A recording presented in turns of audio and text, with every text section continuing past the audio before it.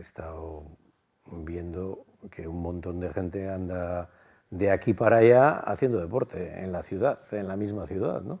Sí, es un vicio que tenemos los donostiarras. Creo que es el 73% de los donostiarras eh, practica deporte. Tenemos equipos de referencia y además quisiera destacar sobre todo en el deporte femenino. O sea, nosotros somos una ciudad que en relación al número de habitantes que tiene es imbatible en, campeonas que compiten en primeras categorías en distintas disciplinas deportivas y es un signo de identidad también de, de la ciudad.